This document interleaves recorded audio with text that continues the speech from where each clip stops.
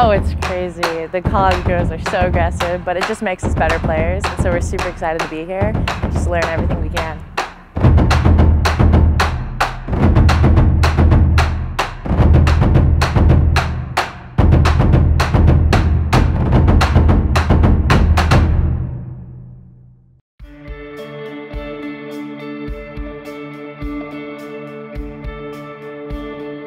This is Collegiate Cup where a bunch of college teams come together and NYAC and some other great competition come together and play for a weekend and it's just really fun. We're playing some water polo early on, preseason, so excited to just train this fall and, and get at it against someone other than ourselves.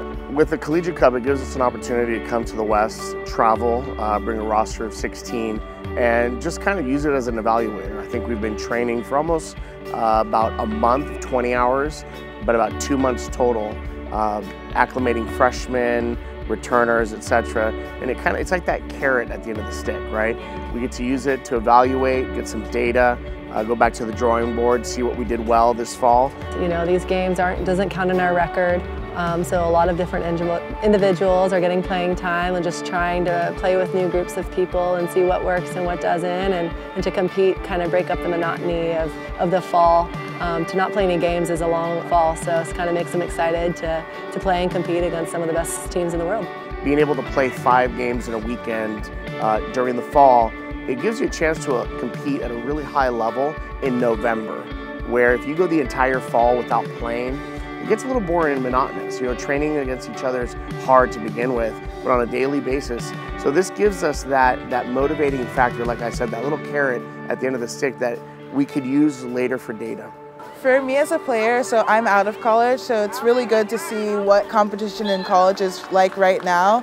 And for me to be able to challenge myself and challenge my teammates and the girls that we're playing against to just like step up to that level or even raise that level if we can. And it's just really, really fun and really competitive. Well, the competition is fantastic. You end up having the top 10 teams in the basically CWPA, right, in general.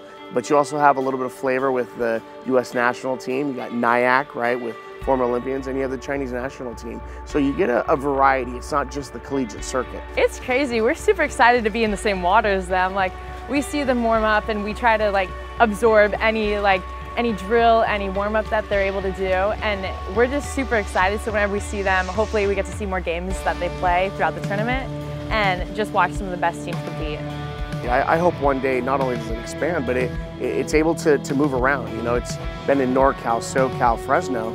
I would love to host it in, in Michigan one day. But uh, what that will do is provide other East Coast and Midwest teams to possibly contribute. But wherever the Collegiate Cup goes, Michigan will be there.